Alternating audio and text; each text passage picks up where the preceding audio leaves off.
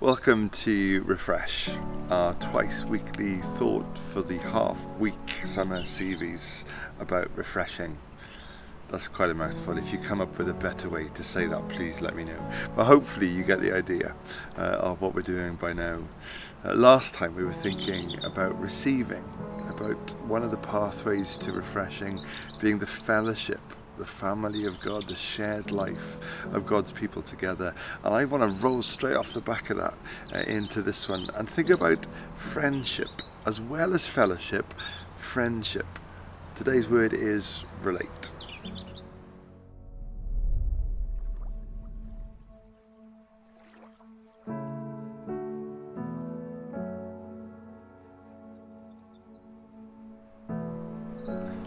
God has designed us as believers for fellowship.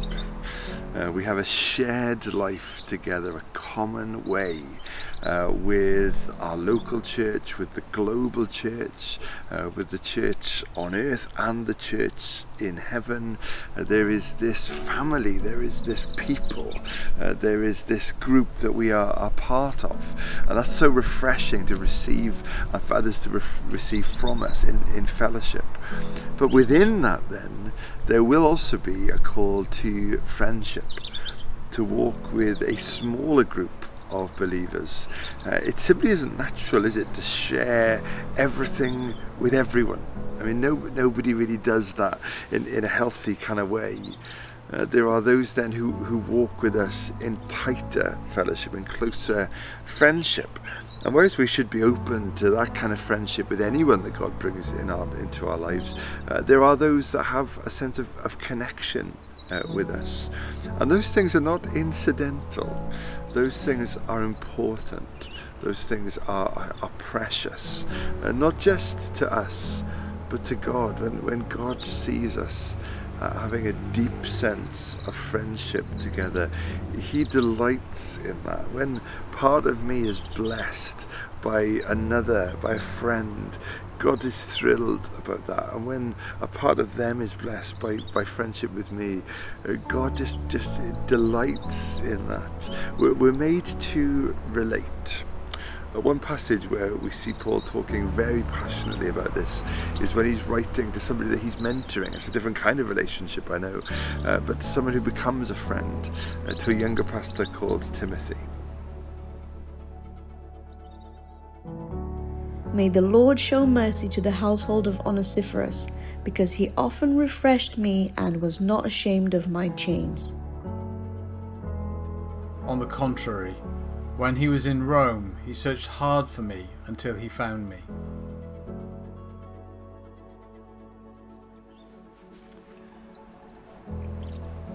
He's often refreshed me because he is not ashamed of my chains.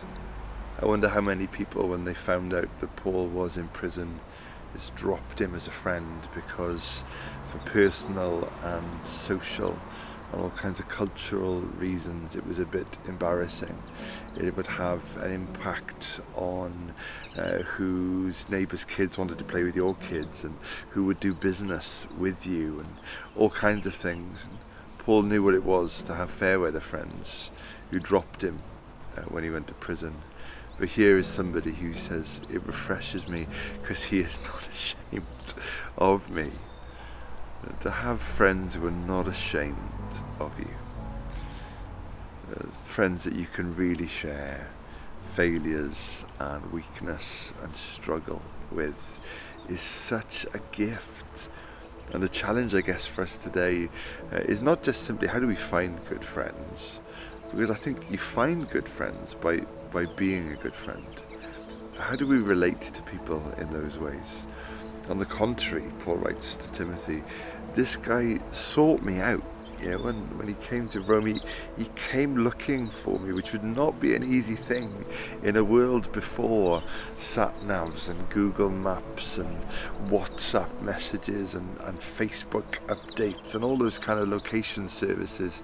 To find somebody in Rome would be a big, challenging thing. But he looked for me, Paul says, and when he found me, it was just such a blessing to be found by him. Uh, and that's something that we're invited into within the fellowship and outside of it. Those kind of unashamed friendships. Uh, those friendships that do the leg legwork of, of looking for us and of finding us and, and refreshing us. So we have tools that Paul didn't have in his day. We do have WhatsApp and Facebook and Messenger and all kinds of ways that we can relate together.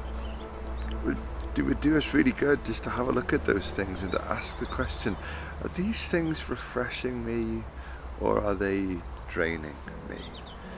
Uh, am I refreshing others through them? Because they're tools, aren't they? On their own, they're neutral, but the way in which we do them can either drain others uh, and discourage others or can refresh and encourage others. And I think another key question uh, that we need to ask is how do we find friends like this who are unashamed, who, who do the legwork? Well, the challenge here is until we're willing to lower the masks and to really let people in to those things that others might be ashamed of. Uh, those weaknesses, those failures, those struggles, those challenges. Uh, how will we know that we have friends who will be with us through thick and thin until we're willing to let them in to those thin and thick places uh, in, in our lives? When we come to church, when we go to small group, uh, when we catch up in, in all kinds of ways, how much of myself am I really bringing? How much am I really sharing? And as, as others begin to share the challenges, the failures, the frustrations, the struggles, how much am I willing to listen and enter into and share in? Because as we relate, as we see Jesus in others, as we share Jesus together, uh, that is so refreshing.